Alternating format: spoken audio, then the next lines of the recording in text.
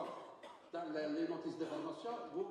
تلاحظوا ان أن هذه الأرقام مليحة و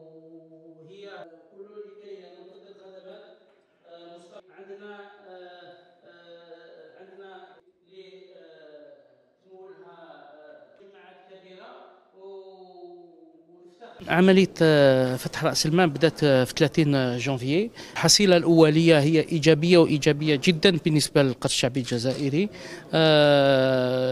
هناك نقوم صحيح المواطن إقبال من عند المواطنين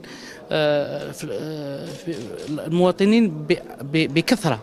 يعني كاين أكثر مواطنين يعني الأشخاص الطبيعية أكثر من الأشخاص المعنوية. هذا يدل على أن الزبائن الزبائن تاعنا يديروا فينا الثقة يعرفونا مليح وهذا يخلي يخلينا باش نتفائل في الحصيلة تاع الأيام المقبلة إن شاء الله. الهدف كذلك هو كما قلت إسهام المواطن في تسيير المؤسسات المالية الجزائرية بحيث أنه الخزينة العمومية راح تنسحب بمقدار 30% وتخلي المجال للمتعاملين وكل المساهمين أو ال ال يعني اللي عندهم رغبة في المشاركة في تسيير هذه الشركة.